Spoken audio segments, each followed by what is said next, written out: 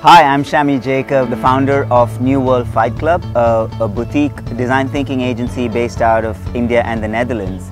And uh, here today in Chennai, we are partnering with uh, Designathon Works, a young Dutch uh, foundation that has developed a unique uh, design thinking method specifically for children, where the children are inspired to create better future using new technologies. Today we are at the Global Designathon where an average of 30 kids uh, between the age of 7 and 12 are getting together in 18 cities and engaging in this 4 to 6 hour session where they think, create and present their unique solutions using technology for a better future. The method has six distinct steps. The first step is uh, to inspire. Today the topic is around water. So we inspire them around the subject of water, everything that comes to their mind when they think of water. And it's very relevant for Chennai especially.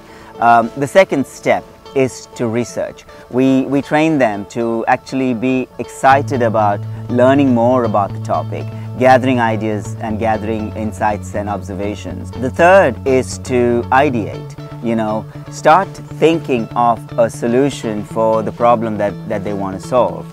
Um, the fourth one is to sketch. So it's not always easy to, you know, just to have an idea. You need to, you need to be able to sketch it. And that's when they really, uh, it triggers new thoughts and gets them, gets them to work more collaboratively together. The fourth one is, uh, in fact, one of the most exciting phases of the whole session is the making uh, session where they take anything that we provide them and with little motors, little LED lights, solar panels and sensors and they start uh, making what they came up with. And the last phase is to show where they present uh, the ideas they, they've come up with and more importantly reflect on their learnings and their experiences. So we've got uh, 25 kids from both from private schools and government schools working in our innovation center. I mean, it's surprising. There's 1.5 billion children under the age of 15 in the world. 400 million of them are in India alone.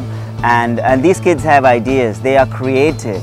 Uh, society today doesn't really give kids the opportunity to express themselves. So what we hope is to offer programs in schools, offer customized designathons, offer global designathons to uh, inspire these kids to be more creative, be more future ready and be creative change agents for a better future.